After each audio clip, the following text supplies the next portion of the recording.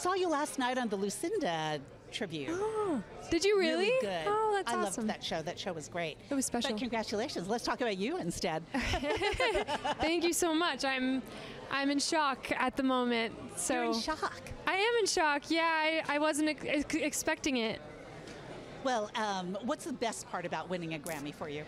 I think it's just remembering all the people who helped me build uh, myself as an artist and helped me make that record. Um, sort of like just the power of community comes into into view. So that's that's what it means for me. And how are you going to celebrate tonight? I'm gonna go get drunk. That's definitely happening. I'm not going to beat around the bush. I think you deserve it. Thank you. Thank you, Madison. Appreciate, Appreciate it. it. Congrats. Thanks.